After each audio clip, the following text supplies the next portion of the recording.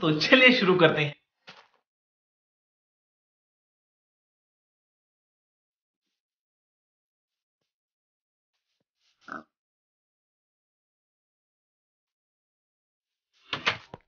Oh my God!